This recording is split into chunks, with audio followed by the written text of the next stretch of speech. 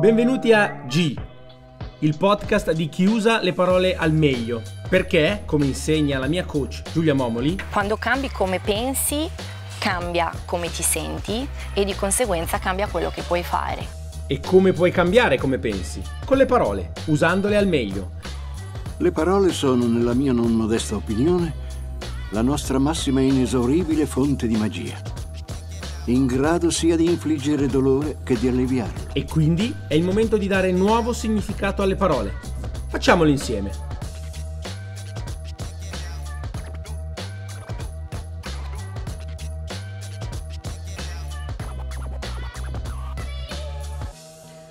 Parola del giorno, grinta, parola molto molto molto utilizzata e spesso abusata eh, nel mondo sportivo, prevalentemente nel mondo del calcio. Da, andiamo veloci, deriva dal gotico grimmita, che fa paura. È una faccia burbera, arcigna o truce? Eh, l- la definizione che la Treccani dà è del tipo ha una grinta da far paura. C'è anche quest'altra, quest'altra definizione che è molto interessante. La grinta è quella cosa che ha la persona, o l'atleta in questo caso, che coraggiosamente cerca il contatto o la lotta con l'avversario. Ok? Quindi in sé il termine grinta mh, ha dentro il concetto di paura, di coraggio, due opposti fantastici, e poi il, con- il- il contatto e la lotta con qualcuno che è un tuo avversario, che un po' si mette tra te e il tuo risultato. Ora ragioniamo velocemente. Cosa aggiungi tu al tuo essere con la grinta? Chiediti questo, io cosa aggiungo con la grinta? Beh, sicuramente il coraggio. se ho grinta, riesco a battere la paura. È un po' come se il termine grinta nascesse dal qualcosa che fa paura, ma dentro ha già la soluzione, che è il coraggio di affrontare quello che ti fa paura. Quando hai il coraggio, non vuol dire che la paura si elimina, anzi, probabilmente la paura sale di livello, ma tu la guardi in faccia, lotta con la tua mente per guardare in faccia la paura, affrontarla.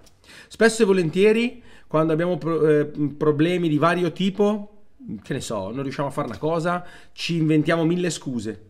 Eh, non ho tempo, non ce la faccio, non me lo merito, non potrò mai farcela, eh, non ne sono capace, ok? Tutte semplicissime scuse, che sai anche tu che sono scuse, ma continui a mettertele nella tua testa.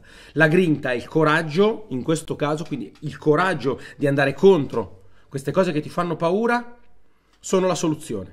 Perciò cosa aggiungi tu con la grinta al tuo essere? Non tanto a quello che fai, ma al tuo essere. Perché ricorda una regola base del mio lavoro come mental coach. Tu non sei i risultati che ottieni, tu non sei i tuoi risultati. Tu sei la persona che diventi. Che persona può farti diventare la grinta?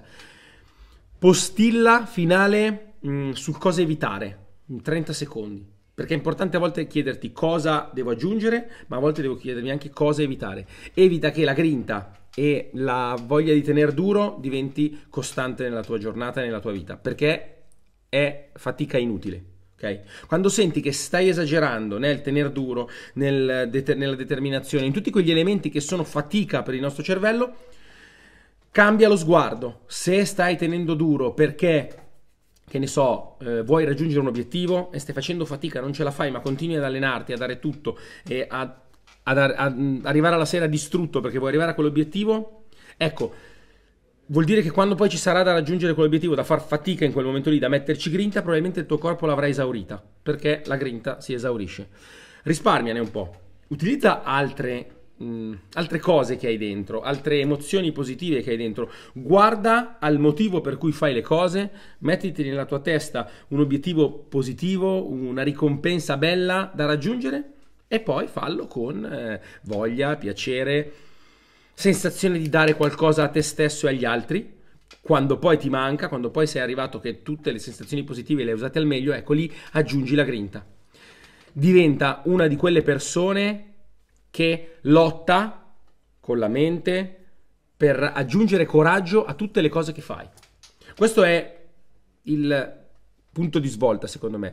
Trasforma la grinta in una cosa che devi avere tutti i giorni, dalle- da quando ti svegli a quando vai a letto, in una cosa che cen- ci- usi proprio col contagocce e la butti dentro quando ti serve. E quando la usi, la usi al 200%. Grinta è fare paura e coraggiosamente combattere contro la tua di paura. Consiglio e domanda finale di questa velocissima eh, riflessione sulla grinta.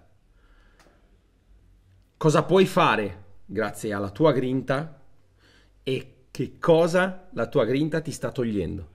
Ricorda, paura da una parte, coraggio dall'altra.